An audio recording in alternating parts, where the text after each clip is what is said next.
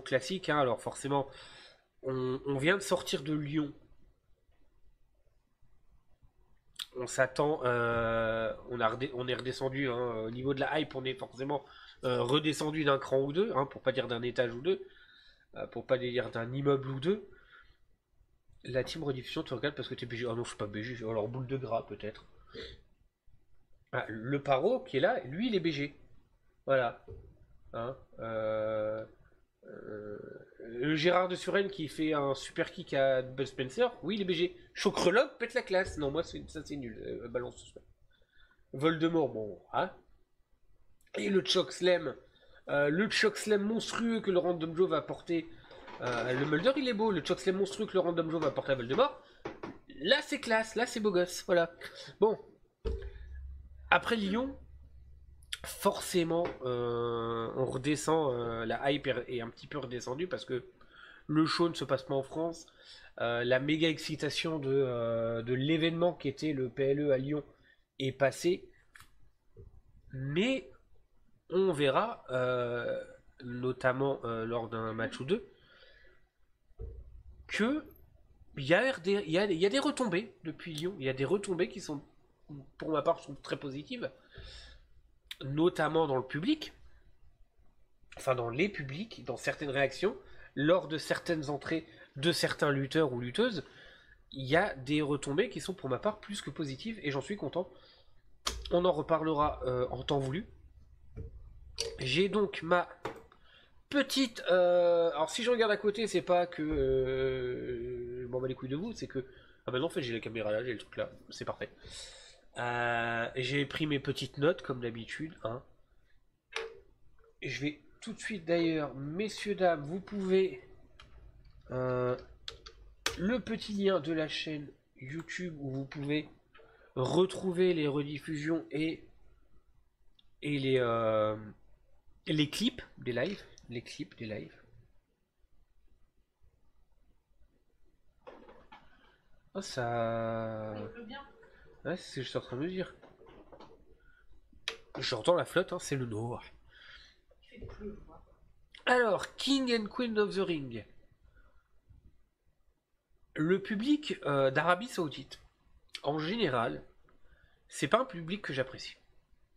C'est vraiment pas un public que j'apprécie. J'ai beaucoup de mal. Parce que je trouve qu'ils sont euh, relativement endormis, sont sur leur téléphone, ils s'en battent relativement les couilles, notamment lors des matchs féminins. Là, c'était pas pareil que d'habitude, j'ai trouvé. C'était pas pareil que d'habitude, ils dormaient un petit peu moins. Ils, avaient l'air un peu plus réveillés, un petit peu plus euh, contents d'être là.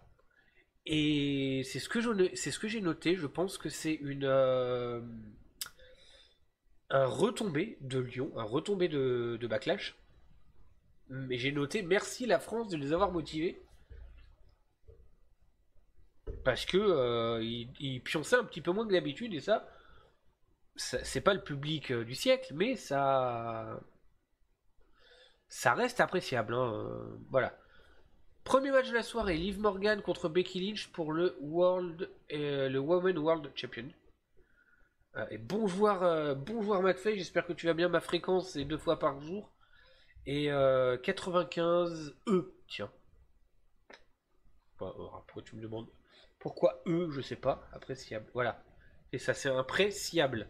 Tu vois, c'est un prêt bancaire que tu peux scier. Ah, c'était nul à chier, hein. vous pouvez me balancer des tomates à la gueule. Liv Morgan contre Becky Lynch pour le, World, euh, le Women World Championship. Euh, Le match était bien. Le match était bien, le match était disputé, le match était, euh, était intense, c'est-à-dire qu'il se passait des trucs. Bon, cela dit heureusement. hein. Je l'ai trouvé par moments un petit peu lent.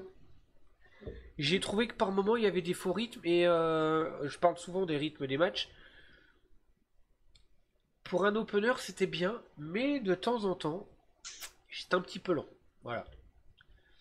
Euh, sinon, c'était cool. Voilà, l'histoire racontée, euh, enfin surtout de Liv Morgan, est pas mal. Moi, j'aime beaucoup le, euh, Revenge Tour, le, mode euh, Revenge Tour de Liv Morgan. J'aime beaucoup, je trouve ça classe.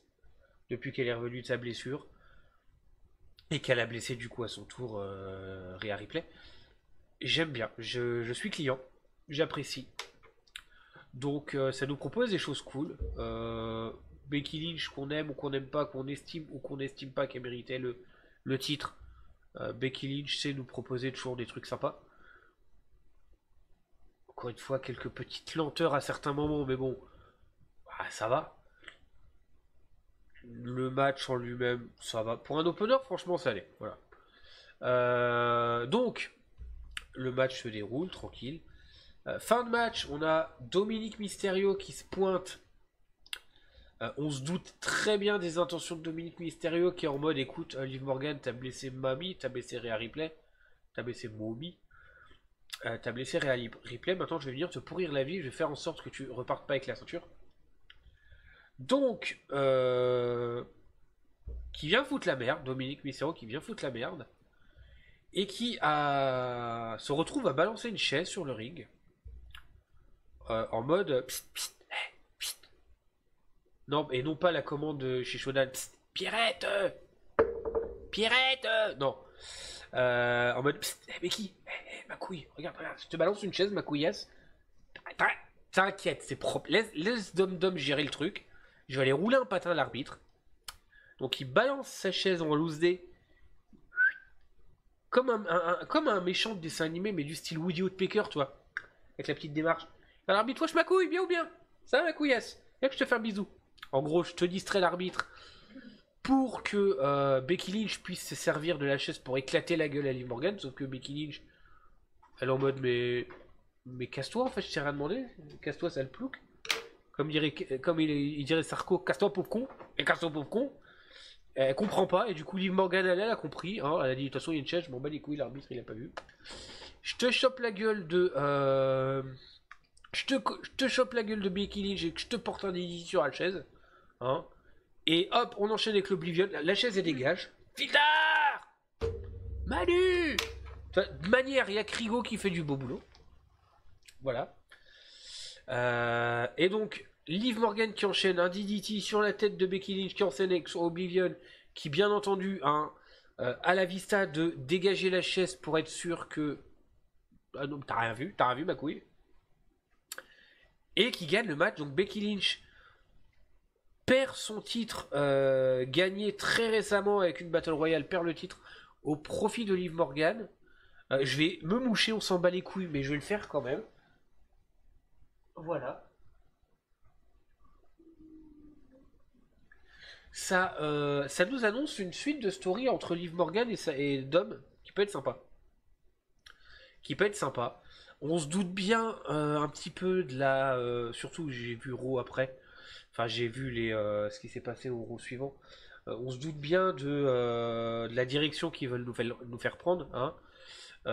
Liv Morgan, qui maintenant que j'ai chopé le titre, euh, et bon, le Revenge Tour, hein, qui était provoqué quand même par Rhea Ripley qui l'avait blessé de base, euh, qui est en mode écoute, je vais te prendre tout ce que tu as, hein. donc je te prends euh, ta santé parce que déjà je te blesse à ton tour, maintenant je te prends ton titre, et puis maintenant, bah ensuite je vais te prendre ton mec. Voilà. On se doute qu'il va y avoir un truc comme ça, des rapprochements, des, et puis bon, bah quand mamie elle va revenir, ça, ça part sur le couille. Voilà. Donc si vous voulez choper de la meuf, hein, vous vous laissez euh, pousser le mulet à la Eddie Guerrero, hein. vous laissez pousser la moustache de Muchachos à la Sergent Garcia dans Zoro, et puis voilà, vous avez toutes les meufs du monde. C'est la, c'est, la philosophie euh, Dominique Mystérieux. Voilà. C'était de la merde, mais enfin bref. C'est, euh, je suis curieux de voir encore une fois la suite du truc. On verra. On verra. Bronson Reed contre Chad Gable contre Sami Zayn pour le titre intercontinental. Je vais le répéter, mais j'ai bien aimé le rythme du match. J'adore, moi j'aime bien quand un match il, passe crème, comme on dit ça. Ça fait très wesh je veux dire ça, mais j'aime pas quand il y a trop de temps mort. J'aime pas quand il y a trop de faux rythme qui fait que ça peut être lent. Ça peut être chiant euh, à certains moments. L'avantage euh, à mon sens, d'un match triple menace, ben, c'est qu'il se passe toujours quelque chose. Il se passe toujours quelque chose. T'as toujours un, euh, toujours un petit truc qui se passe, et ça c'est cool. Ça c'est cool. Chad Gable, le giga Chad, qui nous fait son entrée avec des euh, accompagné de Yusuk à la Kurt Angle, j'ai trouvé ça marrant. C'est pas aussi épique que ça été avec Kurt Angle, mais ça, la, petite ref à euh, Chad Gable, t'es un petit peu le Kurt Angle de Wish, tu vois. Ou alors le Kurt Angle 2.0, je sais pas comment vous pourrez qualifier ça. De Wish, c'est pas très sympa pour Chad Gable parce qu'il est capable de faire des trucs de ouf. Mais euh, voilà, c'est la petite ref. On, te fait remarquer que t'as des similitudes avec Kurt Angle en balançant des You pendant ta musique. Voilà, c'est. Pourquoi pas euh, D'ailleurs, le Giga Chat qui va nous. Euh, qui va nous faire un Giga Chat moment avec une double German surplex sur Bronson Reed et Sami Zayn. Je trouvais ça très cool. Quand on voit surtout le, gabarit de, de, Bronson Reed qui, hop, qui te chope. Euh, qui t'a soulevé les deux comme Paro soulèverait un tacos 3 viandes. Très très sympathique. La, euh, la story avec Otis, hein. à la fin du match, on a euh, Chad Gable qui fait. Euh, au début du match, on a Chad Gable qui fait Otis écoute, tu suis le plan. Hein. À un moment donné, je vais t'appeler et tu, feras, tu suivras le plan. Alors tu te dis déjà, ça pue la merde, enfin bon, voilà. Fin du match, on a Gable qui appelle Otis, qui fait Otis, ma couille, viens voir là. Tu te souviens, on avait fait un plan Bah allez, vas-y, bosse un peu, bosse un peu, ma couillasse. Euh, tiens, pète la gueule, éclate-moi la gueule à Bronson Reed parce que je le trouve moche, je l'aime pas. Démolis-le la gueule. Otis, il hésite pas trop, il fait bon, allez, vas-y. Je te mets, je te rentre dedans comme un taureau. Bouh, t'éclates la gueule de, de, euh, Bronson Reed. Voilà. Et ensuite, au moment où euh, Gable il dit bah tu fais la même à Sami Zayn, Otis il a pas envie. Il est en mode non, je peux pas, il est sympa, tu vois. Gable s'énerve, il commence à foutre des tartes dans la gueule en mode euh, Ouais, j'étais un Google, Otis, vas-y, euh, tu fais ce que je te dis, euh, allez, allez, si t'es pas capable de le faire, vas-y, je suis ton coach, machin. Enfin, il joue du violon. et au moment où Otis, il dit Bon, je vais le faire, qui va corde à linger Sami Zayn, que j'ai marqué corde à linger. Euh, Sami Zayn, il est pas con, il est vite, et c'est Chad Gable qui se prend la grosse Claude euh, dans sa gueule. Sami qui profite, il remonte sur le ring, il, claque un Louva kick à Bronson Reed et il gagne le match. On se doutait bien que Bronson Reed, hein, euh, qu'on l'aime ou qu'on l'aime pas, il était là pour, euh, bah, pour subir la fin du match. je suis curieux de voir aussi, je suis curieux de voir la suite de la story avec euh, Chad Gable euh, et, Otis. J'imagine qu'à long terme, Otis il va lui dire vas-y, il va te faire enculer. Euh, peut-être pareil pour Akira Tozawa et Maxine Dupri. Et on attend tous, je pense, la future association de Chad Gable et les Creed Brothers. Je pense que c'est quelque chose qui a l'air d'être parti pour, pour se produire pareil, à voir ce que ça va donner, à voir la façon dont ça, va être fait, et à voir qu'est-ce qui, euh, qu'est-ce qu'ils leur feront, qu'est-ce qu'ils leur, euh, qu'est-ce leur donneront euh, comme opportunité, qu'est-ce qu'ils leur donneront comme rivalité, et éventuellement peut-être aller chercher des titres, je sais pas, et pourquoi pas hein, titre, un titre par équipe pour les Creed Brothers et puis un petit titre intercontinental pour Chad Gable, ça pourrait être cool. Excusez-moi, je me bouge comme un gros porc.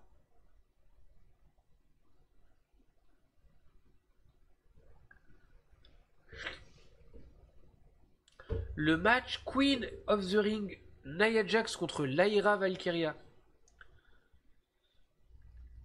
Le match euh, qui, proposait une opposition de style entre une puissance euh, brute pour Nia Jax et une explosivité et euh, pour Lyra.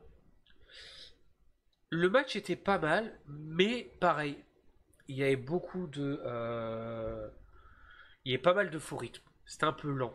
Cela dit, en même temps, ça fait partie du rythme de Nia Jax. Proposer quand même quelques moments de faux rythme et j'ai trouvé ça euh, pas pas déconnant parce que quelque part ça reste le euh, le classique euh, style powerhouse contre le style plus aérien, plus explosif. Hein. Forcément, les, moments de domination du Gare à Paris plus, plus stock, ça va être un peu plus lent.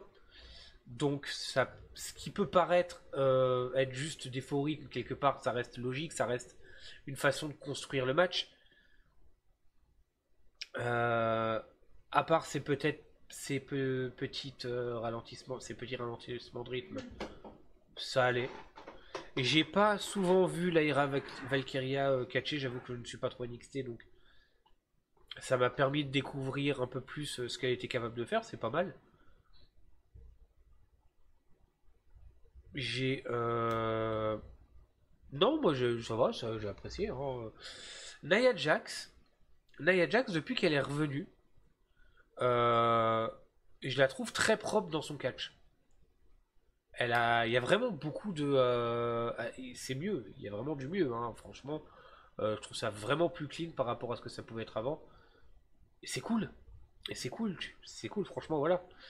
Donc à la fin du match, on a, euh, on a une tentative de powerbomb, c'est-à-dire qu'il y a Nia Jax qui est dans le coin et euh, l'Aira se pointe en mode, oh je vais, je vais te soulever tes grands morts. Sauf que ça passe pas. Voilà, ça passe pas. Et, euh, et puis Nia Jax, elle se laisse retomber sur euh, en mode un petit peu bonsai drop, écrasement, je sais pas comment on pourrait dire. Euh, ça fait mal. Elle lui se fait écraser comme une merde. je suis désolé, ça doit faire mal au cul. Et, et qui gagne le match de manière dominante. Hein. C'est-à-dire qu'à la fin du match, t'as euh, Nia Jax qui est assis sur l'Aira, elle est comme ça. L'arbitre il fait le compte, elle est en mode ouais, je m'en bats les couilles. Nia Jax, euh, Queen of the Ring, qui du coup euh, aura un match de championnat SummerSlam. J'ai pas encore parlé de ça, mais je vais en parler tout de suite parce qu'on aborde un, match euh, Queen et King of the Ring.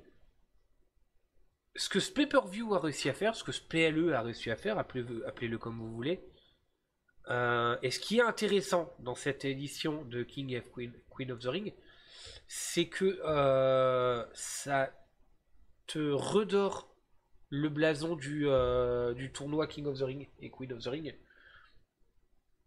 Car on en fait vraiment quelque chose. L'exemple hein, le plus euh, fréquent qui est donné, c'est à l'époque de Stone Cold Steve Austin, qui, qui avait vraiment apporté de la prestige à ce tournoi-là. Là, on, refait quelque chose de bien, parce que les, précédents euh, King of Queen, of the Ring, hein, à part apporter des changements de personnages à la con, du style euh, King Sheamus, euh, King Barrett, King Corbin, Queen Zelina, bah, c'était pas ouf, quoi. là, là, on part sur quelque chose de, de cool. On a une Queen of the Ring qui, du coup, gagne un match deux championnats à SummerSlam. En plus, SummerSlam, c'est quand même un des gros PPV de l'année, un des gros PLE de l'année. Ça a du prestige. Ça a du prestige de. De donner un match de championnat global à un des quatre PLE majeurs de l'année. C'est cool. Et ça te donne du, ça te donne la valeur au tournoi King of the Ring, au tournoi Queen of the Ring, et ça c'est super cool. Merci Triple H. Hein, je sais pas si l'idée est de toi, mais merci parce que c'est cool. Voilà, c'est vraiment très cool. Et si euh, d'ici SummerSlam c'est toujours Bailey, si tu dis pas de conneries, qui est championne, et que Nia Jax va défier Bailey, bah oui, pourquoi pas. Eh. D'ailleurs, on passe au match suivant qui est le match King of the Ring qui oppose Gunther à Randy Orton j'ai noté que les chants euh, pendant l'entrée d'Ordon, est-ce que la France aurait inspiré le monde?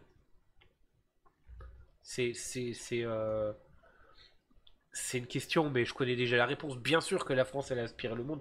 Bien sûr que Lyon a, inspiré le monde euh, lors de Backlash, le dernier PLE. Et c'est cool qu'on aime encore une fois qu'on n'aime pas le public saoudien. ce qu'il faut retenir, c'est que il y en a qui, il y en a qui pourraient dire ah, ben, il, copie la France. Hein, euh, ok, peut-être. Mais c'est pas ça qu'il faut voir. Ce qu'il faut voir, c'est que le public français de Lyon, euh, avec le, le PLE et le week-end de ouf qui sont sortis, bah les gens s'en aspirent. Et la France peut dire, et le public français, les fans de catch français peuvent se dire, voilà, on a inspiré le monde. Et actuellement, les gens s'inspirent de nous, dans le monde entier. Et ça, c'est bien. Plutôt que de se dire, oui, c'est ce que machin, il copie pas machin, est-ce qu'on se fait pas plagier, est-ce que machin, non, on s'en bat les couilles. Ce qu'il faut se dire, c'est que voilà, le public de Lyon a sorti un truc de ouf, et que maintenant, les gens se disent, Lyon, c'était des malades mentales, ils ont fait ça de bien, ils ont fait ça de bien, ils ont fait ça de bien, ils ont fait ça de bien, et bon, on va s'en inspirer. Et c'est cool. Voilà, c'est ce qu'il faut. Moi, c'est ce qui, je pense, c'est ce qu'il faut se dire. Et c'est bien. C'est vraiment bien. Donc, Gunther contre Randy Orton, j'ai marqué opposition ultra intéressante pour ne pas dire Dream Match. Euh, ce qu'il faut savoir, c'est que euh, pour ce PLE, c'est peut-être pour ça que j'en attendais un petit peu moins. Et j'ai. Euh, c'est un PLE il y a 5 matchs. J'ai été spoilé de 3 matchs sur 5. Voilà. Merci Facebook. J'ai été spoilé de 3 matchs sur 5. J'ai été spoilé de Liv Morgan contre Becky Lynch. J'ai été spoilé de Nia Jax contre Lyra Valkyria. Et j'ai été spoilé pour le match qui vient. Donc Randy Orton contre Gunther. J'ai été spoilé. Et coucou petit Piwi, j'espère que tu vas bien. J'espère que tu vas bien. J'espère que bah, tu as passé une bonne journée que, et que tout va bien pour toi. Euh, j'ai été spoilé. Cependant, cependant, non, pas 1000 points pour Nintendo, mais j'ai kiffé. Le match Gunther contre Randy Orton, je me suis dit, même si j'ai été spoilé, je m'en bats les couilles. Je vais regarder ce que les lutteurs ont à nous proposer. Je pense que ça va être bon. J'ai pas eu tort, été très bon. Titre. Et, euh, je vais savoir me contenter de ce que euh, du spectacle qui va m'être donné. Même si forcément ce sera un petit peu moins intéressant parce que je connais déjà le résultat perdu pour perdu, j'ai envie de dire, hein, euh, autant se contenter de ce qu'on a. Et là, du coup, c'était nickel. C'était nickel. Le rythme du match était assez lent, mais c'était du bon catch technique. Euh, Gunther, c'est un... c'est masterclass, Gunther, c'est le roi de ce monde. Euh, j'adore Gunther, franchement, il fait des trucs de ouf. Et j'aimerais, moi, à l'avenir, voir Gunther avec un titre mondial. Titre poids lourd, ce serait peut-être plus crédible. Mais euh, Gunther, il... vend du rêve. Gunther, franchement, vend du putain de rêve.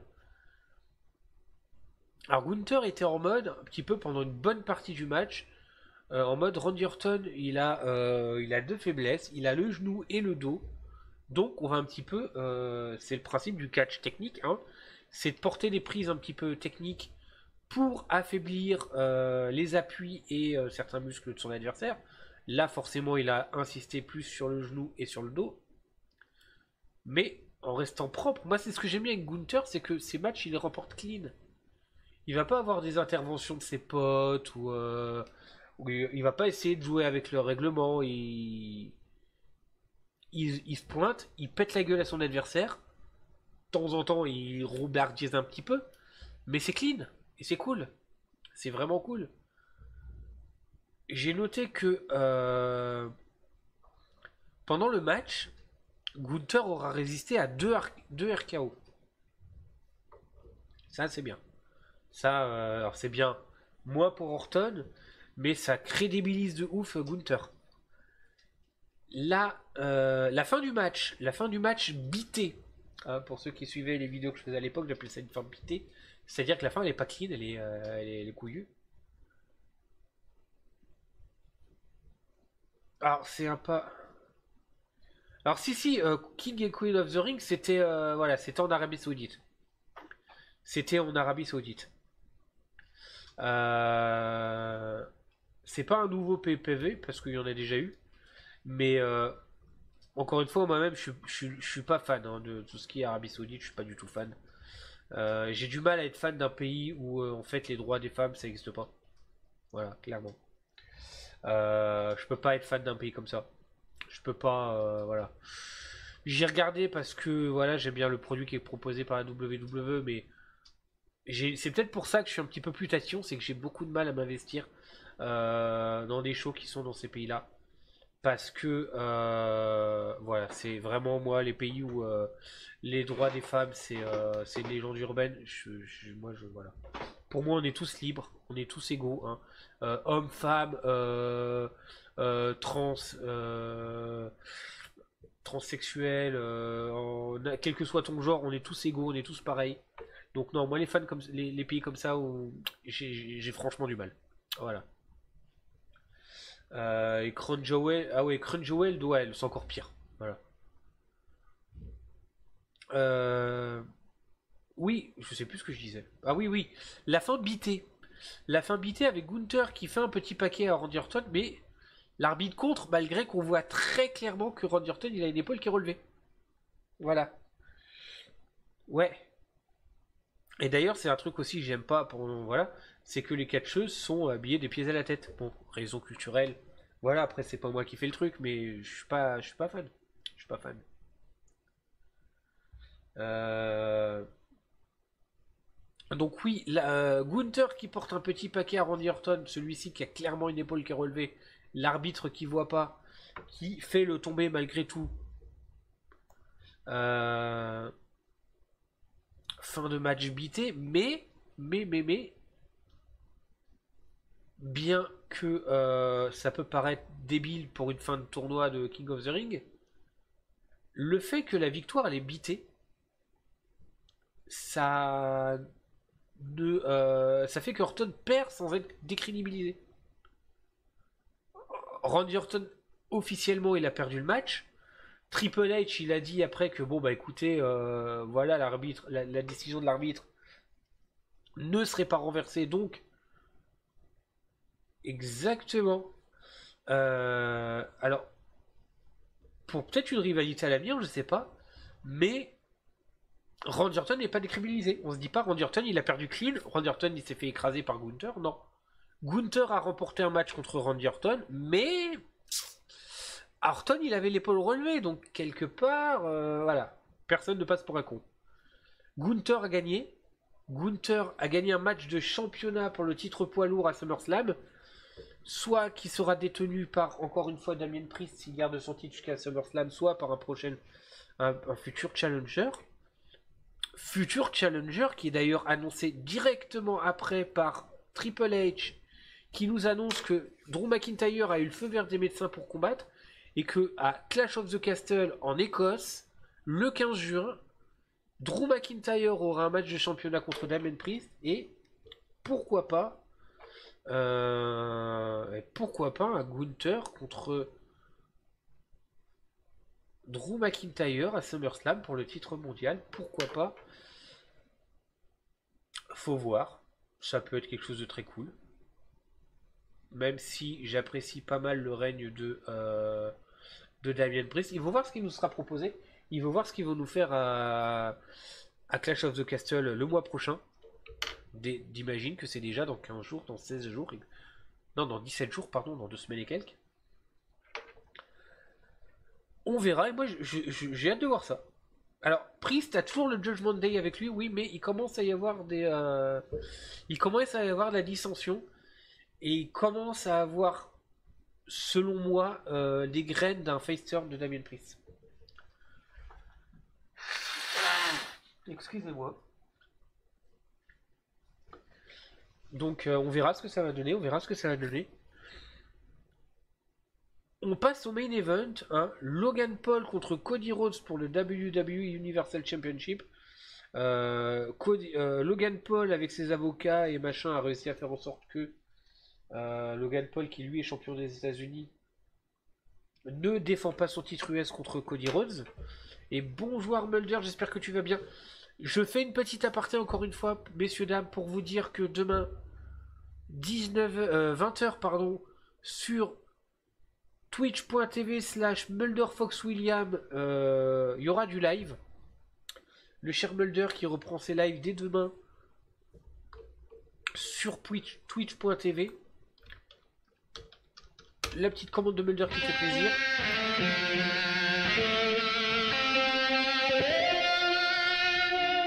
Donc n'hésitez pas à passer pour passer un petit moment sympathique de React de série.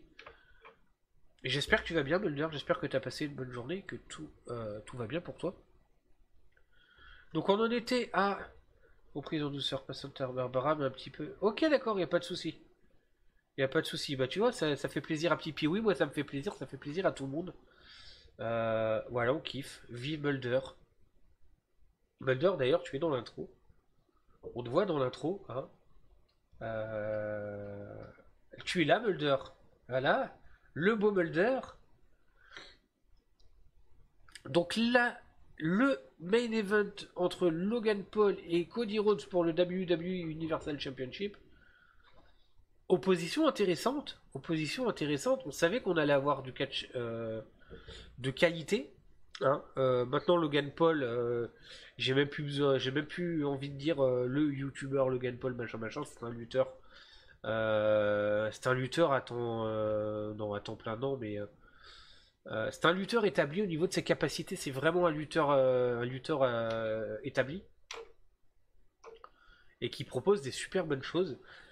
Et j'ai noté que Logan Paul est un putain de heal naturel. C'est-à-dire qu'il est, euh, dans le fait d'être détestable, en fait, il le fait naturellement. C'est un connard naturel. Comment je dis ça? Non mais c'est ça le heal naturel en fait. Je parle de son personnage. Hein. L'homme en question, je, ne le connais pas. Très controversé, notamment pour des, vidéos qu'il a fait sur Twitch, sur euh, YouTube, pardon. Ça ne, me, ça ne me concerne pas. Je suis pas là pour parler de ça. Euh, moi, je parle du, personnage Logan Paul, le catcher hein, de la WWE Logan Paul, qui incarne un rôle de petit connard, de petit enculé détestable, et qui le fait bien. Et je dis bien encore une fois, incarne un rôle. Euh, par exemple, on prend, euh, tiens, on parlait de Damien Priest tout à l'heure, qui incarne aussi, bon, même s'il y a un début de face turn, un gros connard. Euh, ben, c'est pas dire qu'il est comme ça dans la vraie vie. C'est encore une fois le fait d'incarner un rôle, le fait d'incarner un personnage, le Keyfabe, qui euh, est mes bons businessman. Ah bah oui, bah ça, oui, oui, oui. Euh, il joue, il joue bien le il naturel et c'est bien. C'est comme à l'époque, t'avais Edge euh, qui arrivait bien à l'époque de, notamment pendant la génération Catch Attack, qui jouait super bien le mec que t'as envie de tarter sa gueule quoi. Et c'est bien, c'est super bien. C'est un, un heal qui se fait naturellement détester, c'est un heal qui fait bien son boulot. Ça a toujours été dit, ça c'est cool. Euh, alors le speech du match, ça a été un petit peu euh, Logan Paul avec son poids américain qui est en mode ne vous inquiétez pas les gars. Hein. Euh, voilà Michael Cole, tiens je te donne mon poids américain, je m'en servirai pas. Qui bon, au bout d'un moment s'en sert quand même. Qui met une grosse giga de forain dans le bide à Cody Rhodes dans les côtes, ça n'a pas dû lui faire du bien. Mais euh, qui ne coûte pas le match à Cody Rhodes avec cette action. On a un moment assez cool ou euh, deux moments assez cool. Un bon catcher pour moi, c'est un mec qui fait exactement cette rôle, il peut faire tout ce qu'il veut. Euh, bah, on, reprend l'exemple de Edge. Edge, qu'il soit heel ou face, il est crédible. qui sait qu'on a Finn Balor Finn Balor, il fait un très bon, il faisait un très bon face, il fait un très bon heal. Hmm, alors Dominique Mystérieux, non, je pense qu'il est mieux en heal qu'en face, voilà clairement. Euh, mais t'as plein de lutteurs comme ça qui voilà, qui, sont très très complets et c'est cool. Moi j'aime bien Bobby Lashley en face, tu vois. Moi Bobby Lashley, bah, c'est le contraire, je le vois plus en face. Je le vois plus en face mais euh, ou en twinner. Hein. Par exemple, quand on regarde. Euh, ah non, par contre, Brock Lesnar, ouais, Brock Lesnar pour moi était mieux en heal. Brock Lesnar est vraiment mieux en heal. Euh, Bobby Lashley, son dernier, son dernier heel turn avec le, les Street Profits, j'ai pas trouvé que c'était vraiment. Il était vraiment heal. C'était plus un twinner parce que ça me faisait marrer, c'est que d'un côté, il faisait un petit peu les, il, faisait un petit peu des trucs d'enculé, tu vois. Mais d'un autre côté, à chaque fois qu'il rentrait sur le ring, il, tapait dans les mains des gens, il leur faisait des sourires, t'es tout content, machin. Et je trouvais ça un peu bizarre, c'est du twinner, ça, c'est, il fait ce qu'il veut, il casse la gueule à qui il veut. Un petit peu comme l'Undertaker. L'Undertaker, quelque part, était face. Mais l'Undertaker, il cassait la gueule à qui il voulait, quand il voulait, il s'en battait les couilles. sont L'Undertaker, c'est clair, t'étais en face de lui, que tu sois face, heel, machin, il s'en bat les couilles, il te démolit ta gueule. Brock Lesnar, bon, pour moi, il est mieux en heal, hein. il, est très il est clairement mieux en heal euh, pour crédibiliser ses adversaires, rester en part-timer, un peu comme ce qu'il a fait Cody Rhodes l'année dernière. C'était cool. Bon, bah maintenant, euh... ouais, l'Undertaker, c'était un truc à lui tout seul, c'était un niveau à part. Alors, Brock Lesnar, je pense pas qu'on est prêt de le revoir. Euh, on n'est pas prêt de le revoir à la WWE euh, avec les allégations qu'il s'est pris dans sa gueule. Euh, mais euh, à voir, hein. ne, jamais dire jamais. Voilà, ni il ni fait, c'était Undertaker. C'est le mec, t'entends tes gongs, que tu sois il ou fait, tu savais que t'allais te faire démolir ta gueule. Voilà. Et c'était bien, c'était bien. Alors, oui, j'ai dire deux moments assez, assez sympas du match. Le Cody Cutter de Cody Rhodes sur la table des commentateurs. Et après, le Frog Splash de Logan Paul sur Cody à travers également la table des commentateurs, mais l'autre. Euh, Cody qui résiste à ça, plus un autre Frog Alors, il y a Frog Splash à travers la tête des commentateurs et un autre Frog Splash, Cody qui résiste, hein, forcément le personnage du, euh, du, euh, le champion, le champion on va dire inarrêtable. Forcément après la victoire contre Roman Reigns, il faut bien commencer à construire son règne, à construire son personnage en tant que mec un peu imbattable. Il faut le crédibiliser, ça c'est sûr. L'arbitre, euh, qui, euh, qui se prend un splash dans le coin du ring.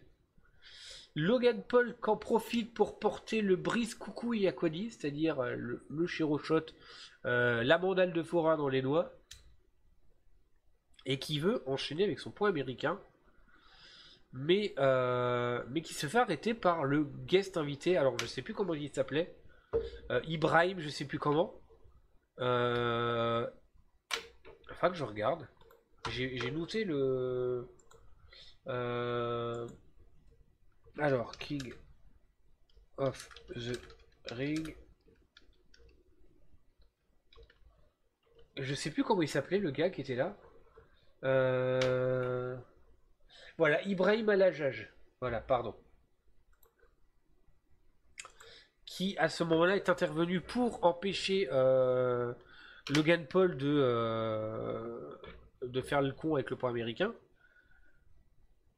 Cody qui en profite pour revenir dans le match, porter son crossroad trois fois, si je dis pas de bêtises, et gagner le match.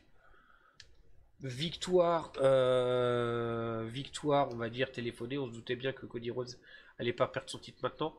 Quelque chose qui me gêne un peu, c'est le fait d'enchaîner trois, crossroads pour, euh, pour gagner le match. Le crossroads, c'est censé être la prise de finition de Cody Rhodes. Si pour gagner un match, euh, il est obligé de le porter trois fois, bah la prise elle est vachement décrédibilisée. Le fait qu'il ait dû la porter trois fois à WrestleMania contre Roman Reigns, voilà, Roman Reigns c'était le boss du game, euh, le champion depuis 1316 jours. Euh, c'était à WrestleMania, c'était le big moment euh, pour finir la story de Cody Rhodes. Il fallait faire quelque chose qui claque. Forcément, tu, portes la prise trois fois pour faire le méga gros moment, c'était cool. Maintenant, encore une fois, le Crossroads est une prise de finition. C'est-à-dire que un adversaire qui, sauf exception ou euh, voilà, quelqu'un qui se prend un crossroads dans sa gueule est pas censé s'en relever. De la même manière que quelqu'un qui se prend un spear dans sa gueule n'est pas censé s'en relever. Une Batista un, un pedigree, il n'est pas censé s'en relever. C'est censé être une prise de finition. C'est un petit peu ce qui se passe avec euh, les super kicks des Usos euh, qui balance des super kicks à toutes les sauces. Le super kick, euh, notamment le switching music de Shawn Michaels, le super kick dans la gueule est censé être une prise de finition. Là, les super kicks ont été complètement décrédibilisés. Euh, le truc, c'est que s'il commence à devoir porter trois crossroads à chaque fois pour finir un match, bah, le crossroads il, il vaudra plus rien. Et c'est pas cool. C'est pas cool et c'est pas ce qu'il faut. Euh, un champion dominant, il doit avoir une prise de finition qui, quand tu te la prends dans ta gueule, tu te relèves pas. Si tu es obligé de la porter 30 fois, c'est que c'est une prise de merde. Je suis désolé. Donc, euh, il devrait pas, euh, à mon sens, hein, après, peut-être que ce n'est que mon humble façon de voir les choses.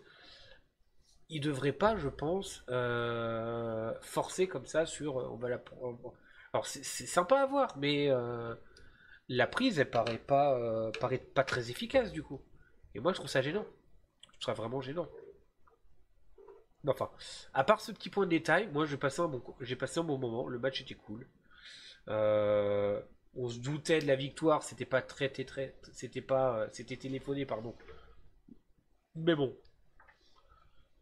petit moment de divertissement très sympa. Moi je m'attendais pas à grand chose, mais j'ai pas été déçu.